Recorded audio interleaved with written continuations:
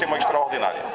É, satisfação, Gonçalves, mais uma vez, estar conversando com vocês que fazem a Rádio Cultural, também a Web TV. É, o, o, trabalho não para, né? Muitas vezes aqui na Câmara, é, as reuniões ordinárias elas vão cessar aí por um mês, mas o trabalho de campo, né, no dia a dia, em atenção e apoio às pessoas, ele, ele é cotidiano e continua firme. Né? Então a gente espera que possamos ter um, um, um, período de ainda mais discussões, de trazermos para essa casa propostas que sejam é, de interesse público. Né, e possamos todos juntos oferecer aí a representatividade e, e, a melhoria para o povo de Limoeiro.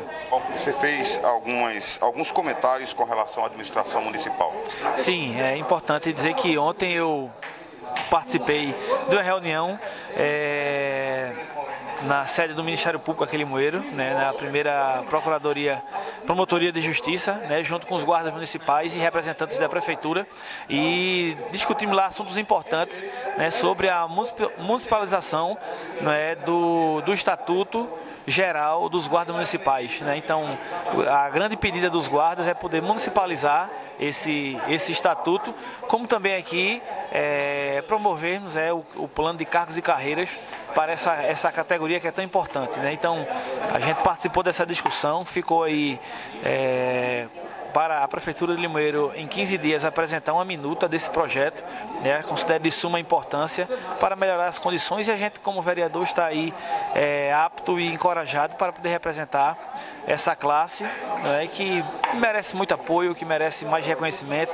Haja vista que é o último aumento de salário foi há dois anos atrás, na última gestão, e muitas outras coisas que a gente está aí em defesa da Guarda Municipal. Parece que você disse que Limoeiro tem menos da metade dos guardas que a, que a quantidade de pessoas do município necessita. Sim, 0,2303 é a fórmula né, que se faz o cálculo para a quantidade exata de, de guardas para uma cidade cidade. Então, é, Limoeiro tem, se não me engano, 57 ou 58 guardas municipais e, a, de acordo com a população daqui, o número é, adequado seria aproximadamente 168 guardas. Né? Então, é outra questão que a gente também é, vai defender aqui nessa casa, que é concurso público para a Guarda Municipal aqui no município.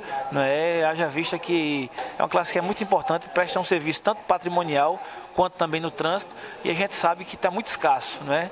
É, fardamento, eles se reclamam que não tem a carteirinha, a sede da guarda também passa por uma situação difícil, um certo descaso, e a gente tem que ser voz e vez dessa categoria aqui e vamos continuar firme. A gente quer também tempo, Gonçalves, trazer aqui, falando do, do, dos guardas, a gente quer tra tra trazer aqui em tempo informações aí para todos os funcionários, dizer que nós apresentamos e, apro e aprovamos nessa última reunião é um requerimento solicitando ao gerente do Banco Santander, né, o banco agora aqui está recebendo a folha da prefeitura e muitos funcionários se queixavam é, sobre o atendimento. Né? A gente sabe que a demanda do banco aumentou e a gente fez essa solicitação para que possa ter uma atenção maior por parte é, da gerência do Banco Santander, como também até da prefeitura, né, que possa aumentar aí é, o número de funcionários né, no atendimento, também de caixas eletrônicos, para que possa facilitar aí no dia que é tão esperado para os funcionários, que é o, o pagamento, para que eles possam ter um atendimento com mais agilidade.